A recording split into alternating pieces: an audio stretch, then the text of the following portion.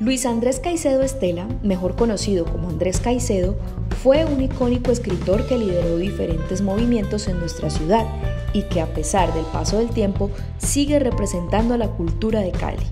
Su brillante carrera contrastó con su triste fallecimiento. Un día como hoy, hace 44 años, Andrés se tomó 60 pastillas de barbitúricos, acabando con su vida justo cuando sus obras florecían. Para conmemorar su nombre, en Cubo te presentamos algunos datos que quizá no conocías de Andrés Caicedo. La mamá de Andrés, Nelly Estela, fue quien pagó la edición de su primer libro, El Atravesado, publicado en 1976. En 1971, Caicedo intentó llevar al cine su guion Angelita y Miguel Ángel, en codirección con Carlos Mayolo, pero nunca llegó a término.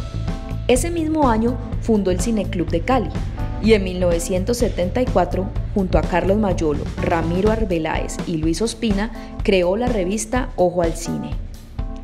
Su libro Que viva la música se iba a llamar Rumbonón en la calle Luna, calle Sol. La traducción al alemán de Que viva la música se tituló Salsa Vida y fue estrenada en el año 1997, mientras que en inglés fue Life Forever.